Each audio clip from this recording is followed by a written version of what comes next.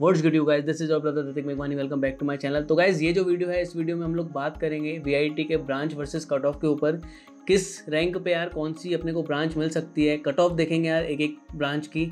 तो यार वीडियो को स्टार्ट करते हैं। तो यार आठ बजे तकरीबन यार रिज़ल्ट आ चुका है। काफ़ी बच्चों को यार रिज़ल्ट ओपन करने में प्रॉब्लम आ रही है। तो यार ट्राई करते रहो, ठीक है? क्या है कि ज़्यादा ट्रैफ़िक के कारण यार किसी किसी को प्रॉब्लम आती है, हर साल आती है।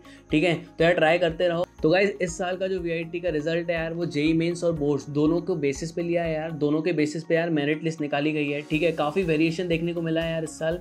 काफ़ी बच्चे यार खुश हैं, काफ़ी बच्चे यार बहुत ही दुखी हैं, ठीक है? क्योंकि यार रिज़ल्ट कुछ पता नहीं किस तरीके से ही निकाला गया है, ठीक है? बहुत ज़्यादा माइनर अपने जो बोलते हैं ना चेंज जैसे 95 97 परसेंट पे यार बहुत ज़्यादा चेंज देखने को मिल रहा है, ठीक है? 90 92 पे बहुत ज़्यादा चेंज देखने को मिल रहा है।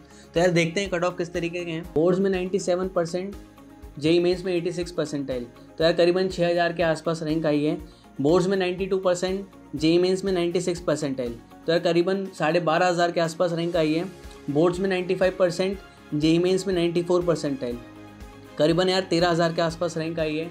बोर्ड्स में 93 परसेंट और यार, जेई मेन्स में 91 परसेंटाइल तो यार, करीबन पच्चीस हज़ार के आसपास रैंक आई है।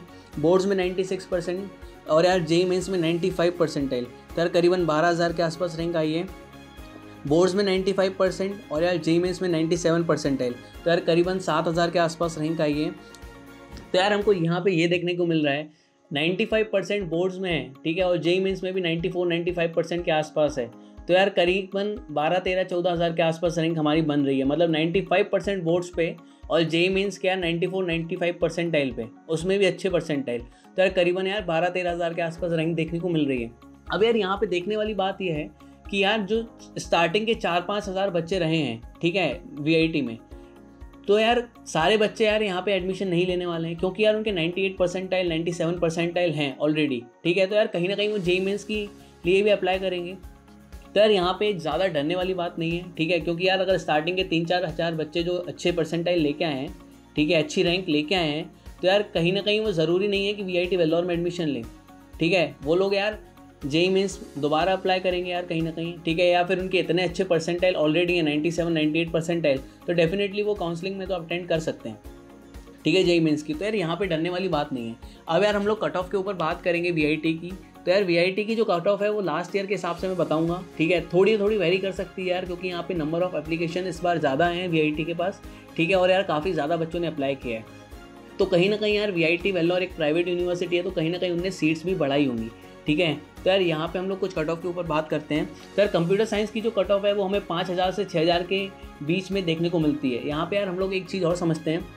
वी जो है यार वो category one category two category three category four category five तक यहाँ पे एडमिशन लेता है। भैया category one two three four five ये क्या है?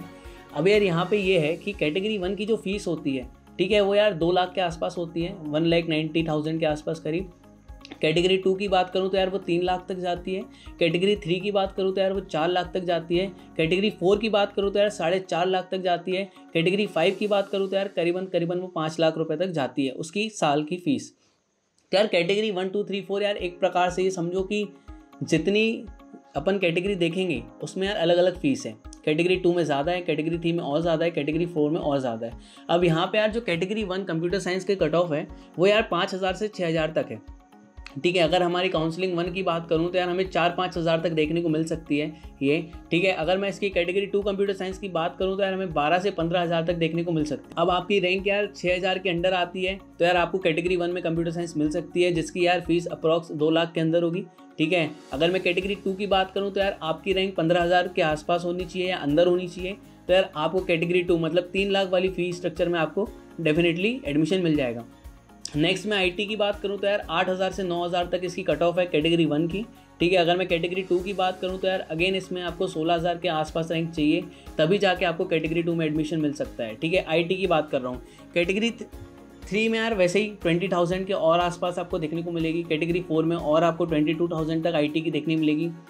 कैटेगरी फोर में यार आपको और थोड़ी आगे देखने को मिलेगी। मतलब जैसे जैसे कैटेगरी बढ़ेगी यार वैसे वैसे आपकी रैंक भी बढ़ेगी और वैसे वैसे आपकी फ़ीस भी बढ़ेगी। समझ रहे हो? नेक्स्ट बात करूँ यार e की तो यार नौ दस हज़ार के आसपास इसका कट ऑफ़ जाता है, ठीक है? कैटेगरी वन का, अगर मैं कैटेगरी टू की बात करूँ तो यार बीस हज़ार के आसपास आपको ई देखने को मिल जाती है।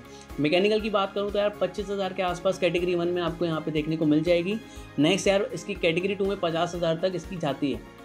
ठीक है? अब यार काफ़ी बच्चों का डाउट ये रहेगा कि भैया मैं इसका फिलअप कैसे करूँगा इसकी काउंसलिंग में? तो यार सबसे सिंपल प्रोसेस ये है, ठीक है? आपको यार सी एस से स्टार्ट करना है। सी एस की जितनी भी स्पेशलाइजेशन है, सारी आपको फिल करनी है।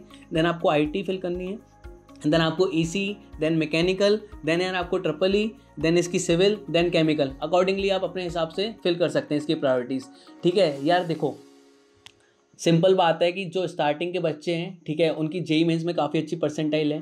तो यार वो कहीं ना कहीं यार वो एडमिशन तो नहीं लेंगे वीआईटी में। तो यार यहाँ पे अपने को डरना नहीं है, ठीक है? अगर क्योंकि यार उनके इतने अच्छे परसेंटाइल ऑलरेडी है नाइन्टी सेवन नाइन्टी एट तो यार वो कहीं ना कहीं मेन्स के लिए दोबारा अप्लाई कर रहे होंगे, या फिर यार वो नाइन्टी सेवन नाइन्टी एट में ही जेई मेन्स के थ्रू एडमिशन कहीं ना कहीं ले रहे होंगे। तो यार यहाँ पे हमको डरने वाली बात नहीं है। अभी यार थापर की कट ऑफ़ भी आए हैं, उसके ऊपर भी बात करेंगे हम लोग नेक्स्ट वीडियो में। तो यार यहाँ पे देखने वाली बात यह है कि अगर आपके दस हज़ार रैंक है, बारह हज़ार रैंक है तो यार आपको कैटेगरी टू के आसपास आपको सी e मिल सकती है, ठीक है?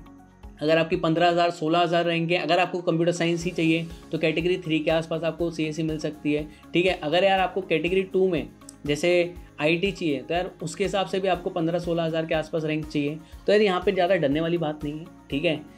आप अपने हिसाब से यार ब्रांच चूज़ कर सकते हैं, ठीक है काउंसलिंग में, और यार उसके हिसाब से आप अप्लाई कर सकते हैं, ठीक है। नेक्स्ट यार मैं ये बोलना चाहूँगा, अगर यार आप अपनी सीट से सेटिस्फाइड हो तो यार आप डेफिनेटली अपनी सीट को यार लॉक करा लें, ठीक है, क्योंकि यार आगे पता नहीं है क्या होने वाला है, ठीक है। अगर आपको लगता है कि यार शायद मैं जेई मेन्स में उतना अच्छा नहीं कर पाऊँगा, ठीक है तो डेफिनेटली आपको अपनी सीट लॉक करा के रख लें, ठीक है, क्योंकि यार कुछ भरोसा नहीं है आगे का, ठीक है, और यार जो भी सीट मिलेगी आपको, आप उसके हिसाब से भर सकते हैं फ़ीस सो गाइज़ ये था आज का वीडियो अगर यार आपकी तीस हज़ार तक भी रैंक है, ठीक है तो आप काउंसलिंग में जाओ यार. ऐसा नहीं कि आपकी ज़्यादा रैंक आ रही है तो आप नहीं जा रहे हो. आप यार काउंसलिंग में जाओ, चालीस हज़ार, पचास हज़ार तक रैंक भी है तो. आपको यार मैकेनिकल वगैरह और यार जो नीचे की हैं सिविल केमिकल ये तो मिल ही सकती हैं, ठीक है? और यार कैटेगरी टू की बात करूँ तो यार आपको थोड़ी और अच्छी मिल सकती है. जैसे मैकेनिकल की बात करूँ तो कैटेगरी टू में आपको मिल जाएगी चालीस हज़ार, तीस हज़ार के आसपास. तो यार ऐसे जाना काउंसलिंग में, ठीक है? ज़रूरी है। तो वैसे ये था आज का वीडियो थापर की भी वीडियो आने वाली है यार, वो भी देखना। और यार जेई मेन पोस्टपोन के ऊपर भी एक और वीडियो लेके आने वाला हूँ तो यार, वो भी देखना। ठीक है, मिलते हैं नेक्स्ट वीडियो में यार। बाकी कमेंट्स में पूछ लो, सारी बातें वहीं पे आंसर कर दूँगा। तो यार, मिलते हैं नेक्स्ट वीडियो में।